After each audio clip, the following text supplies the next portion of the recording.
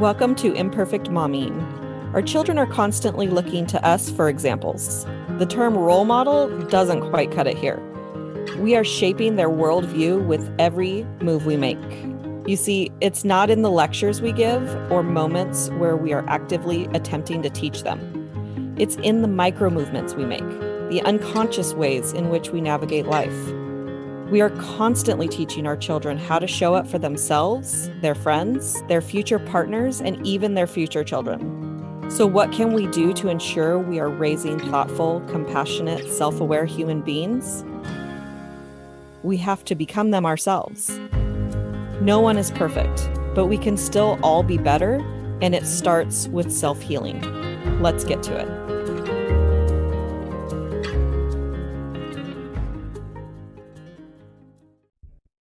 Welcome back to Imperfect Momming. And we have a very special guest today. And I'm going to have you introduce yourself because I didn't confirm how to say your name.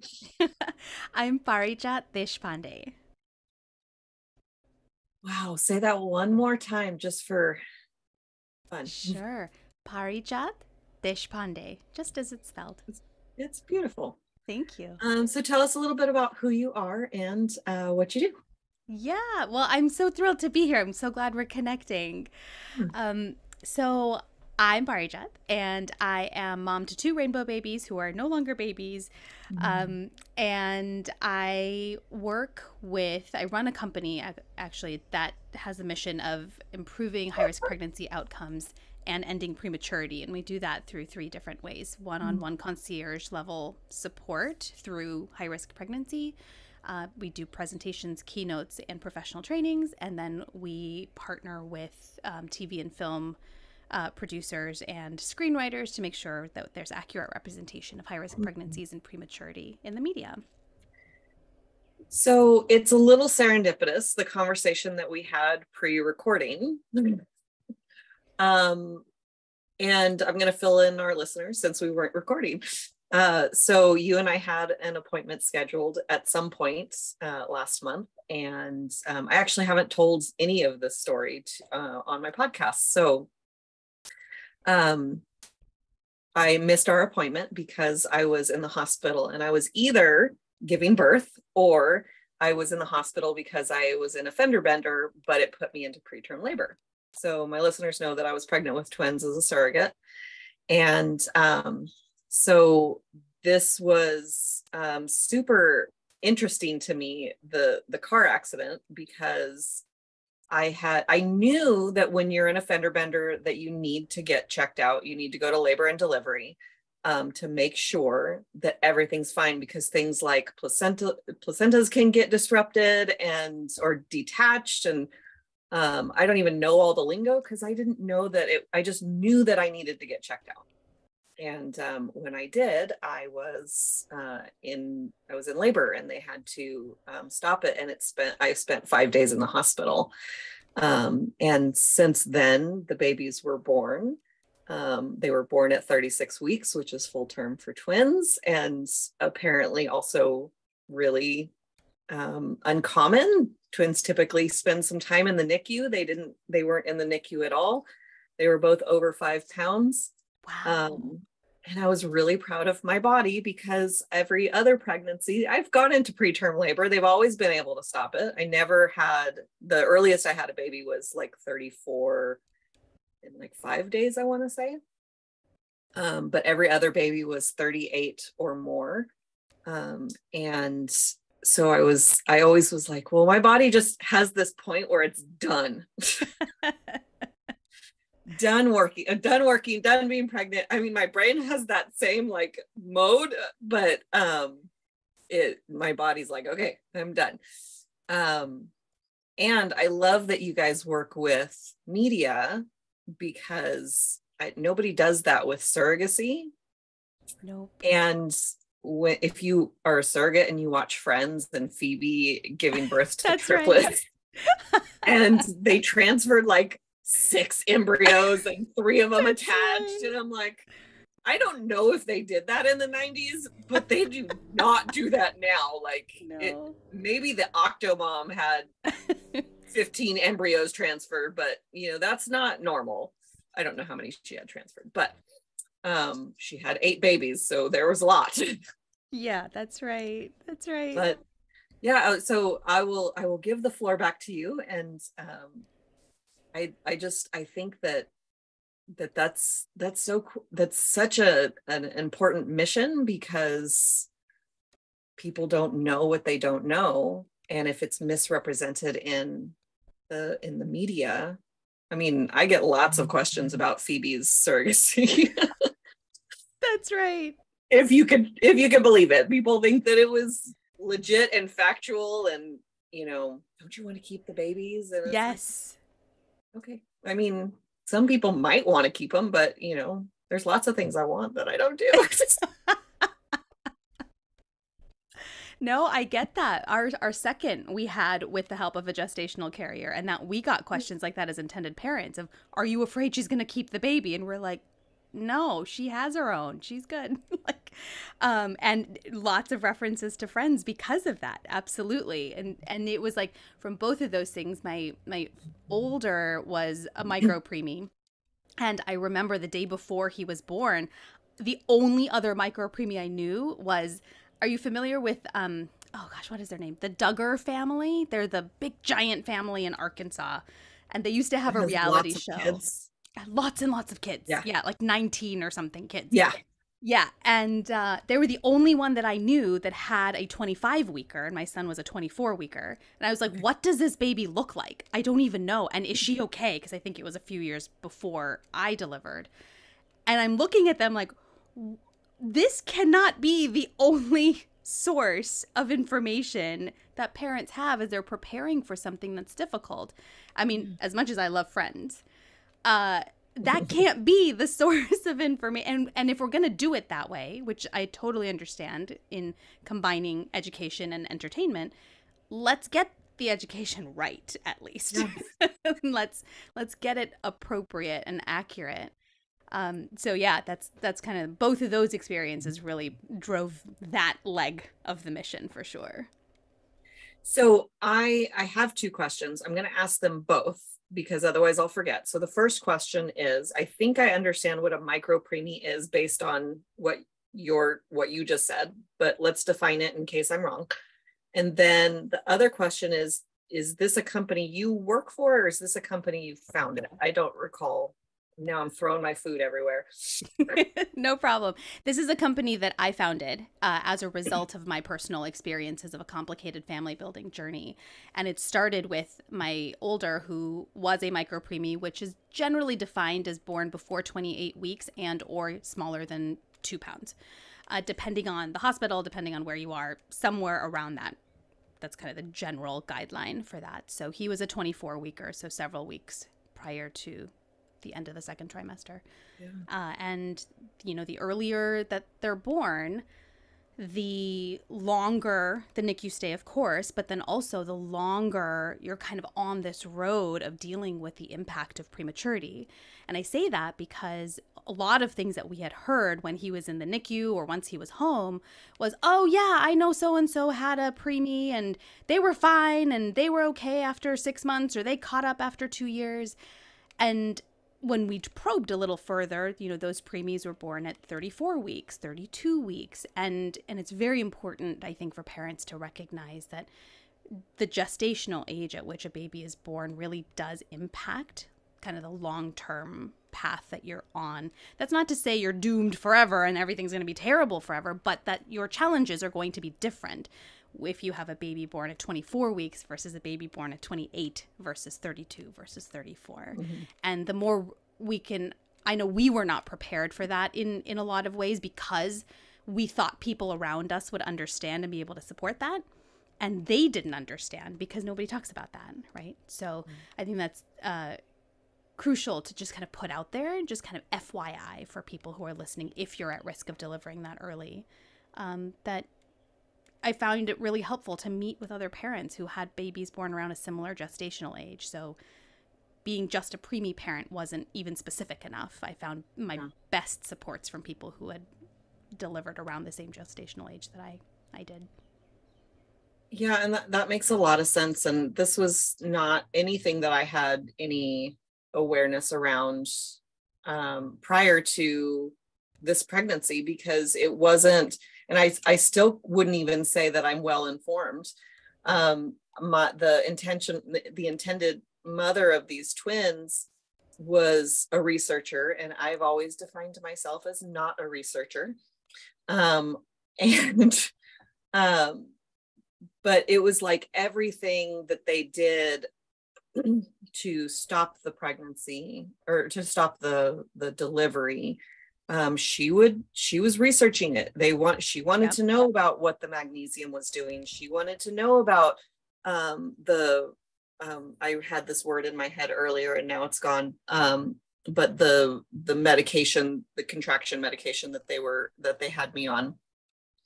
Nifedipine i remembered. Mm-hmm. um, my friend was just telling me that uh, her she started an antidepressant and the uh it's it she said it's stopping her from grabbing words and i'm like are you sure that's not just motherhood? Because i i'm not on an antidepressant and i can't find my words at all. That does happen when we're exhausted too for sure. Um no i just i i'm always so impressed um and I, I think it's a lot a lot of people do this but but i'm really impressed by people that go through something that i see as tremendous pain and use it to better the world and to you know in a lot of ways heal the world or inform the world like you're doing. And and um and i just i want to say that i honor you for for this um, company that you've created and for the awareness that you're putting out there and um, it's it's what an what an impact and what a like mission that you have. And i think it's beautiful. Thank you. I really appreciate that. I really do. Thank you. And a girlfriend of mine i don't remember how early her daughter was born but um, i want to say it was in the 20s 26 maybe even. Um, and just watching the story on on Facebook um, and and you know the in in all honesty the avoiding of the story and avoiding the pictures because it's not yeah. it's hard to see. Yeah. And i believe i was pregnant at the time and i was like i just can't have these images in my head. And and you know but i i reached out to her you know to ask her if there was anything that I could do. But the pic, the images of of preemie babies is is really just disheartening. Yeah, it is definitely something. I think that's why I was looking for that photo because I wanted to know what is my child approximately going to look like because I knew he wasn't going mm-hmm. to look like the babies that I had met, that I had seen pictures of, that are generally shared publicly, I knew that he wasn't going to look like that, but I didn't know what he was going to look like. And it's a combination of what the baby looks like as a as a person, and then you add on all of the tubes and wires and machinery and everything that kind of takes over that little tiny body. It's scary. It's scary to see. Yeah. Absolutely. It's not something I think any parent wants to see and it's certainly not something that we are often prepared for for sure. And i remember being pregnant with my son and um, i was again i went into preterm labor around 30 weeks um, and they were able to stop it but before that moment it what it wasn't real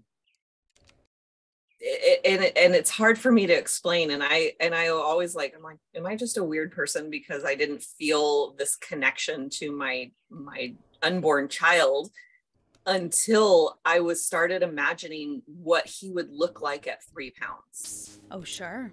And then he became like he went from being i'm pregnant to you know this is xander. Xander, xander's coming soon and I got to keep him in as much as as long as I can. Um, but it wasn't until that imagining that I made the connection of that. Oh, this is he's a person. Yeah. Mm-hmm. Absolutely. Yeah. So, is there anything that else really, or are there? Uh, so, are there Facebook groups that you've created that kind of bring these moms together or is there other ways that they can connect with each other so, um, no, I don't have a Facebook group. I find that people kind of congregate on my Instagram account, or I have an inner circle where we actually get to dive more into the content of trauma informed neurobiological approaches to health in general. Um, and so we have a community lounge there that can be anonymized because I found a lot of people that were kind of coming closer to us wanted the anonymity, right? For any number of reasons. Mm-hmm. They they don't want to share publicly with their name, their face, or anything like that, which I completely understand. And yeah. I, I, even remember after my son was born, or no, maybe I, he hadn't, he wasn't born quite yet, but it was getting close. And a friend of mine who had delivered at 28 weeks a year prior, she was like, "Don't share pictures and don't share his name publicly uh, online, at least on social media, right away." And I was like, "Oh, okay, why? I mean, I didn't hadn't even thought that far, so it hadn't even crossed my mind. And she had mentioned that there's there's just a lot of ugliness on social media, people taking pictures, people using stories. You might have mm-hmm. seen those kinds of somebody pretending to be somebody else. And apparently that happens a lot in the communities where there's kind of health related pictures, whether it's babies or otherwise. And so I thought that was very interesting. And then when I started the company, I was really asking a lot of the people that were coming closer and asking for more, asking for support. It's like, would you be interested in a community where you want to share uh, publicly? Would you want your name associated with it, your your face? And the overwhelming answer was no. I'd prefer for it to be private. So we really prioritize confidentiality and anonymity in all the work that we do. We never ask anybody, even for testimonials uh, from clients or anything that is always what are you comfortable sharing, and we will absolutely honor that. So between the Instagram account and the inner circle, um, people often find me through my book as well, and and that's you know we and then we just have a lot of conversations that also happen over email. People sending us their stories and experiences and asking how we can help for their future pregnancies too. That's really great. It's and, and that's an aspect that I wouldn't have thought of is the um, people wanting to be anonymous because my friend was so open about it and so vocal yeah, about it and that's right. and, yeah. Um and i would imagine you know there's there's a feeling of judgment like i mean moms moms feel like they're being judged whether it, it's happening or not. Um but like well, what'd you do wrong? Yeah. You know yeah. and i'm and you know my my friend that that was kind of, it wasn't like I had that that thought, well, why did that happen? You know, not yeah. what did you do wrong, but like why did that happen? And I think I asked her, I was like, was there anything like was there a reason? Was there like a you know, and and um that that brings up a good uh thought in my head like are there questions that that we can that we shouldn't be asking that feel mm. feel judgmental to to a mom that's going through this oh i love this question yeah there's i i can speak from personal experience that it was those questions like do you know why this happened? And i know mm. that you, you know even my my parents ask this close loved ones. They just want to understand right? Because mm. it's something in our community at least had never happened before. Nobody knew about it. Nobody talked about it. So what? How? And and there's this perception that this only happens to a certain demographic of people. There was an assumption that well you did everything right. You did your prenatal appointments. You actually lived at the doctor for some time. You took all your vitamins. You ate ate well. What could it have been? And and still, I think as hearing that question, especially when we didn't have the answers ourselves yet, um, after the fact, but then also when we were going through it and we're trying to figure out what the answers were, they were not just judgmental, but I would say it added pressure because it mm. added a layer of I need to now take care of you because you're uncomfortable with my experience when I'm already trying to figure out how to navigate my own personal experience. Mm-hmm. So I would mm-hmm. say, you know, questions like that, or if you find that your baby is in the NICU, whether preterm or full term, because full term babies do also end up in the NICU sometimes, uh, asking when they're going to come home. What's keeping them mm. from coming home? What's going on? Why aren't they being discharged yet? Like, we totally get you want our babies home with us. We want that so badly. You have no idea.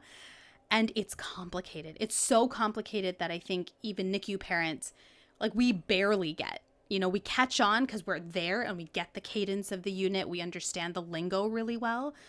But even then, we're still like, okay, but when? when can they come home? And so I think really focusing those questions on what do you need? How can I best support you? Do you need an ear? I'm going to the grocery store. Can I pick something up for you? Mm-hmm. And really offering that practical type of support or asking mm-hmm. them what they need is super helpful.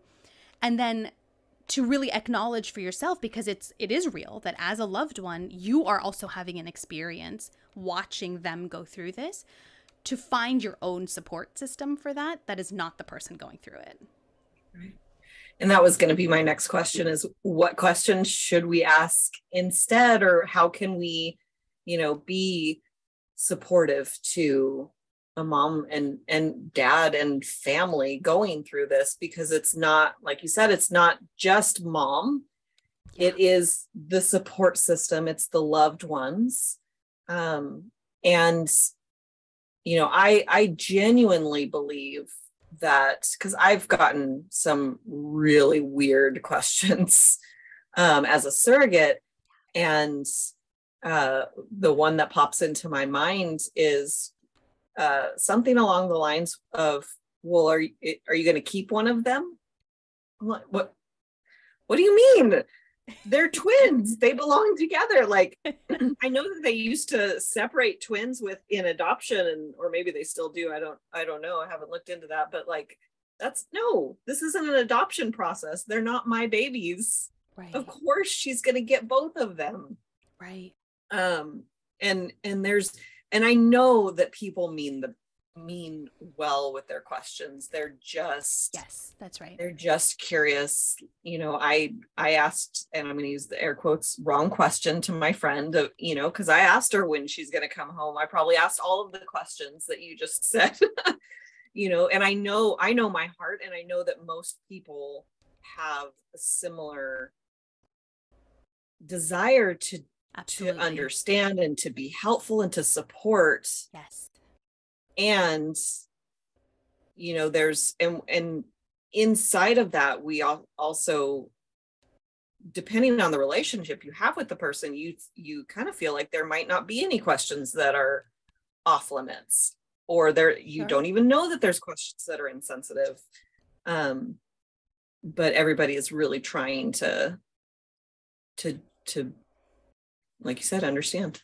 Yeah Exactly. And I think we're very lucky at this time where there is so much information available online that it's easy for easier, I guess, for loved ones to look up and say, what does a 24 weeker mean? How long is a 24 weeker typically in the NICU? And you can find these general answers online so that you can then reserve the questions and conversations with your loved one with ways that only you can support them with, right? Maybe you're the chef of the family, and so you can drop off delicious food for them to actually enjoy one meal out of the day. Or, you know, you're the best friend, and so you can be that shoulder that nobody else can be. And then have that separation a little bit to really preserve the beauty of the relationship that you have with that person. Mm. Yeah.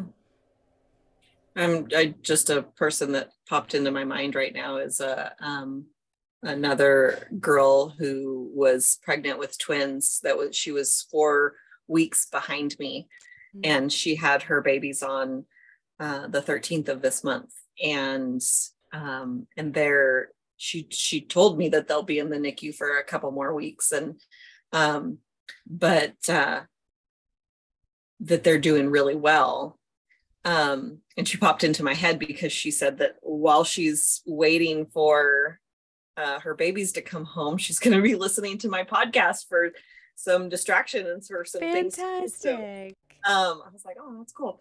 Um, but uh, it's it's so easy, I think, to support our our loved ones now. It's a lot easier in in what you just mentioned.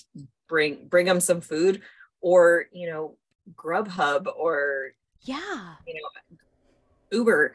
Like there's so many different ways, or you could or Instacart. Like, you know, hey, what can I get you? What groceries do you need? Like there's and there's a whole episode that we did on on that um you know ways to support a new mom. Yeah. Um and those are those are things that we can do uh, for moms whose whose babies are currently in the NICU because it's hard. Yeah. It's really hard. Like you have an expectation when you get pregnant that when you give birth that you're coming home with a baby. That's right. And when that's not what happens then it's it's really difficult. Yeah. Absolutely is there a piece of advice that you want to share with uh, moms listening i think it would be to remember that you know what you and your child needs best above mm. everybody else, above anybody else. You know. You know. And I know that we say that sometimes, and it's a great kind of like cheer. But I really want to highlight that there's reality behind that too. It's not just words that sound nice. You are with this child every second of every day. You are seeing their face. You are seeing their little bodies change, whether it's in the NICU or at home, whether it's newborn phase, toddler phase, beyond. You know the inflections in their voice. You are the one who can tell when that's an angry cry because I'm wet versus I'm hungry and how dare you haven't fed me in two hours. You know the difference.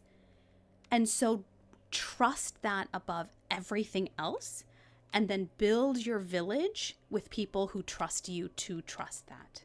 Mm. Man, that's a whole topic. that's a whole podcast topic. But that build your village with people who trust you Yeah.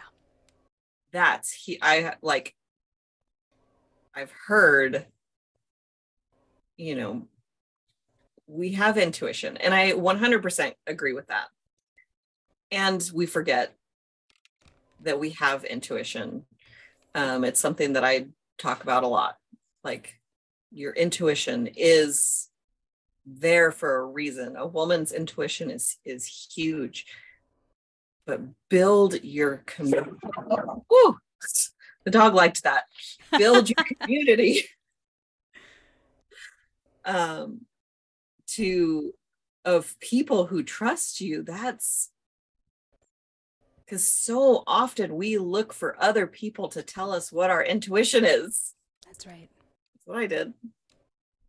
Yeah. I, would, I was reaching outside me a lot in the beginning and i and i don't think that there's anything wrong with asking for feedback or reading a book or whatever just trust that that intuition oh that gave me chills mm-hmm. is there a book that's been instrumental in your journey well i didn't find it when i was pregnant so i wrote it uh, i don't know if that counts I'll take it.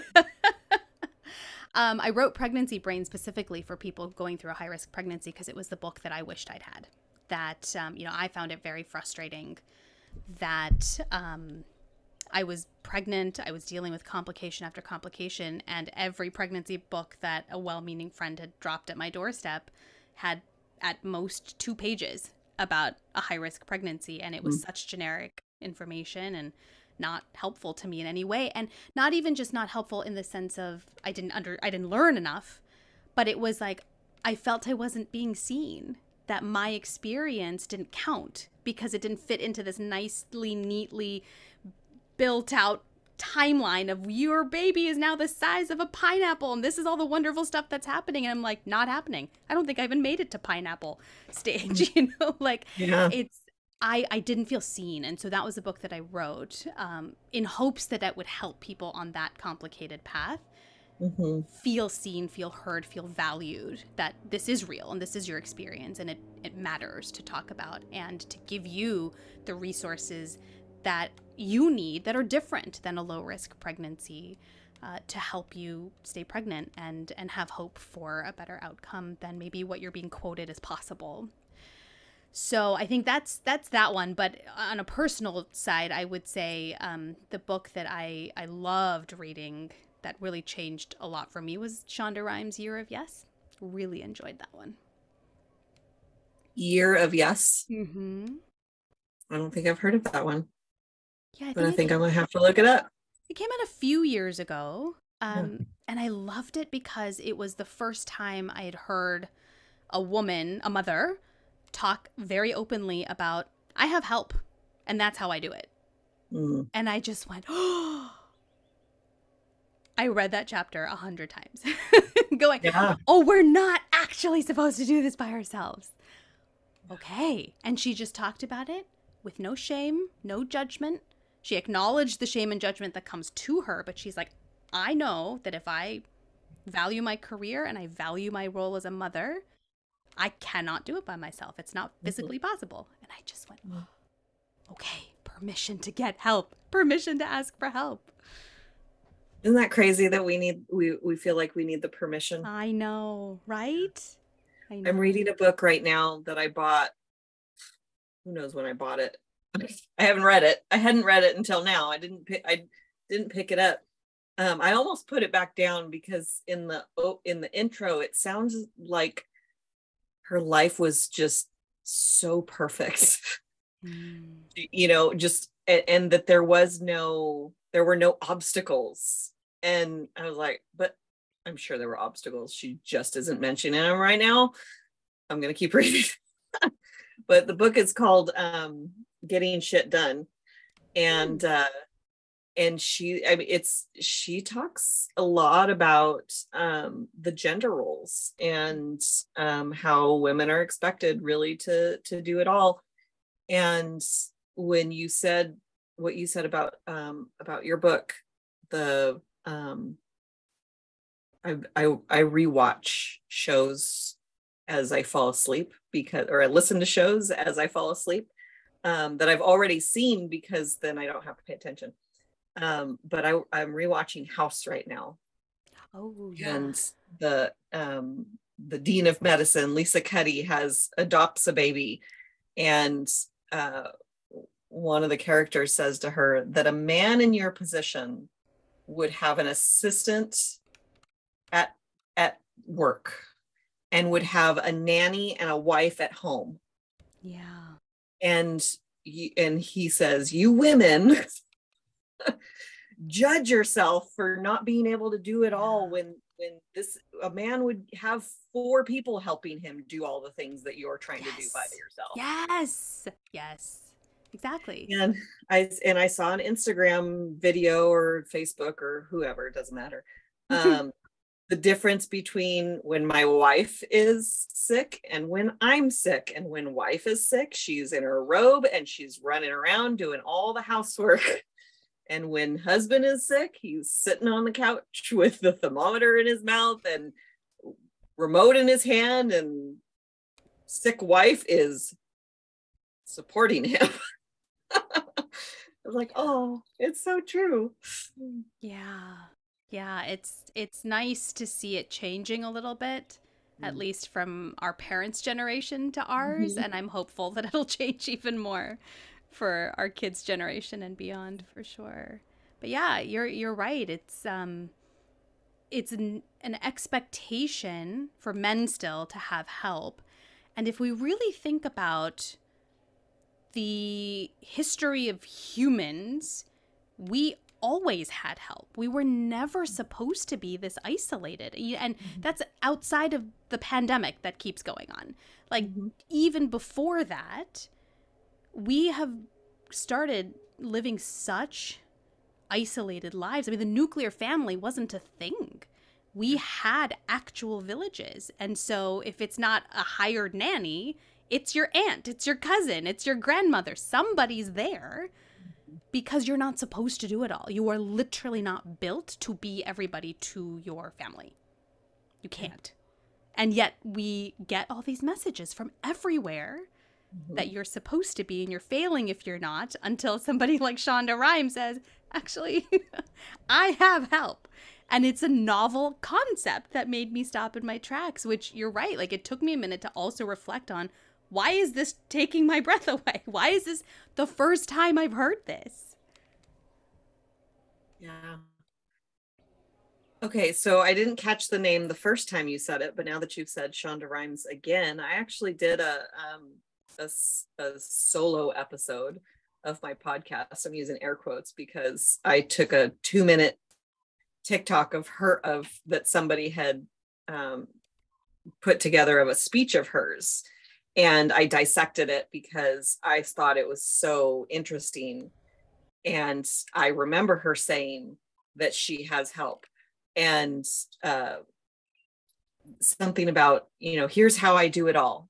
I don't. Right and right. she's very funny with that like that's um yeah so and and a book that i mentioned a couple of times on the podcast i haven't finished it but i know the the gist of it someone i think somebody recommended it on the podcast. It's called hunt gather parent.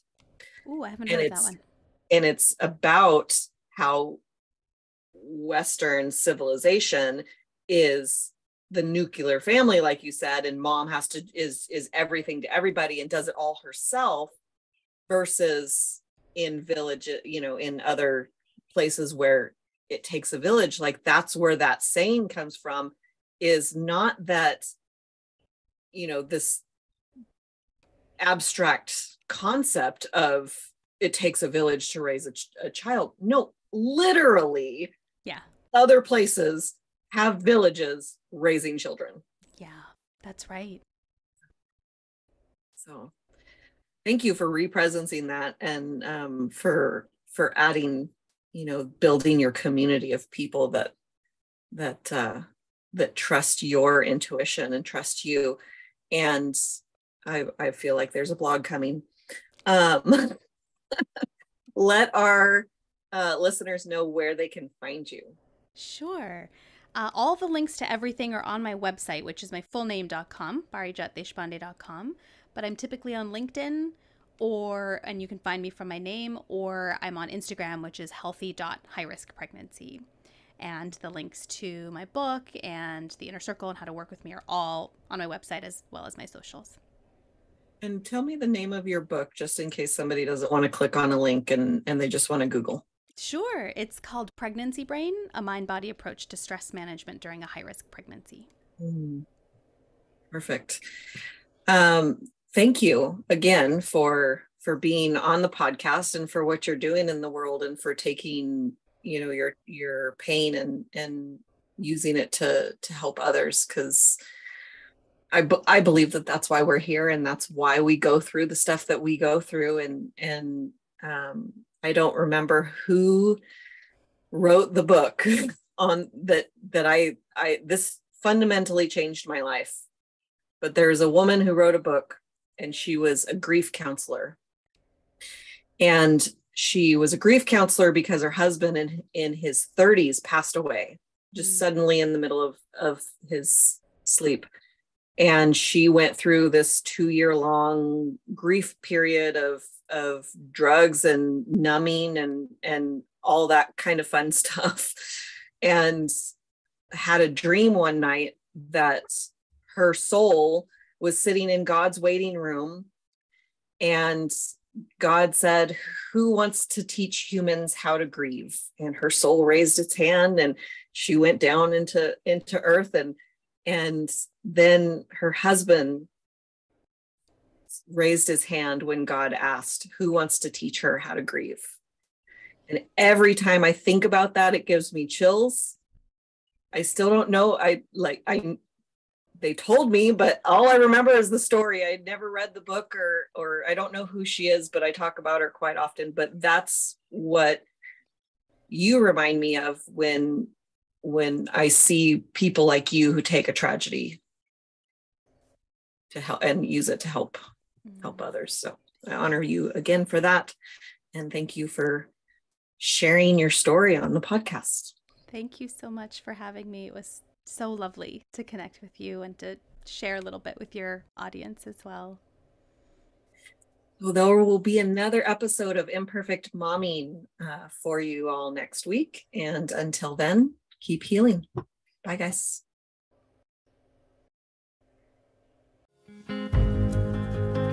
Thank you for tuning in to Imperfect Momming. It's time for us to step up and realize that our power is not in trying to shape our children. Our power lies in shaping ourselves into the people we want our children to model themselves after. Don't just do it for your kids, do it for yourself. When you become a more self aware, compassionate, and confident person, you and everyone around you benefit. For more information about me and my work, visit alysialyons.com. That's A L Y S I A L Y O N S dot com. See you next time.